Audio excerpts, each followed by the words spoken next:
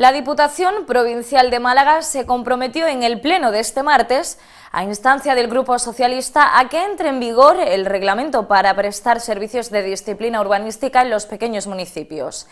En concreto, los grupos políticos de la institución provincial aprobaron una moción de los socialistas instando al equipo de gobierno a la publicación íntegra en el Boletín Oficial de la Provincia de Málaga del texto del reglamento de asistencia material del Servicio de Disciplina Urbanística aprobado definitivamente en 2012 para que el mismo pueda entrar en vigor. Asimismo, instaron al equipo de gobierno de la Diputación a dar cumplimiento a todas las acciones recogidas en el citado reglamento de forma progresiva en función de la disponibilidad de presupuesto y personal. El diputado provincial del PSOE, Cristóbal Fernández, insistió en la necesidad de que Diputación atienda a los ayuntamientos malagueños, especialmente a los menores de 5.000 habitantes en cuestiones de disciplina urbanística.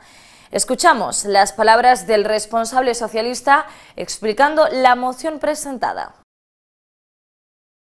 Quiero en el día de hoy mostrar la satisfacción que tenemos en el Grupo Socialista de la Diputación Provincial de Málaga, porque en el pleno que se acaba de celebrar en el día de hoy en la institución provincial se ha aprobado una moción del Grupo Socialista relativa a la publicación del reglamento de asistencia material de disciplina urbanística de la provincia en el Boletín Oficial de la provincia.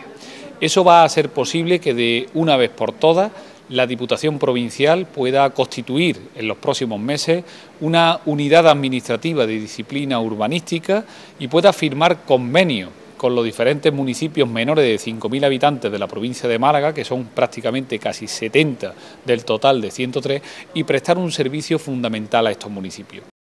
Fernández apuntó que a partir de esta moción se podrán evitar problemas de seguridad jurídica para promotores, constructores, arquitectos, compradores de vivienda y los propios ayuntamientos que originaban en múltiples casos procedimientos judiciales por la vía penal que en ocasiones han finalizado con penas privativas de libertad, sanciones económicas e incluso los derribos de las viviendas construidas de forma irregular.